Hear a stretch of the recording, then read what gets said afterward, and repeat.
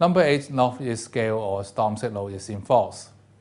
At 4 a.m., Tropical Storm Toraji was estimated to be about 140 kilometers south-southeast of Hong Kong and is forecast to move west slowly, edging closer to the vicinity of the Pearl River estuary.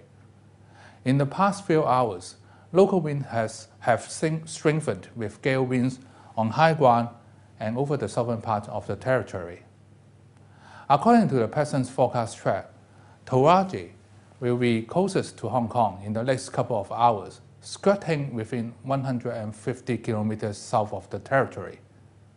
The gale or storm signal number 8 will remain in force at least until 10 a.m. today. With Toraji weakening and moving away from Hong Kong, local winds will moderate gradually during the day today.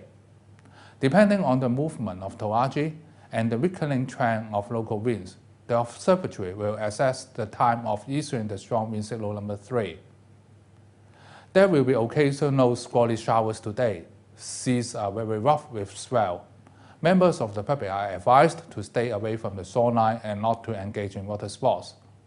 For the weather forecast for today, wind will be strong to gale force northeasterly. Becoming easterly later, wind will moderate gradually during the day. Cloudy with occasional squally showers, showers will be heavy at times at first. Seas will be very rough with swells.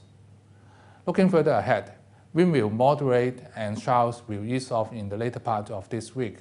Sunny interval over the weekend.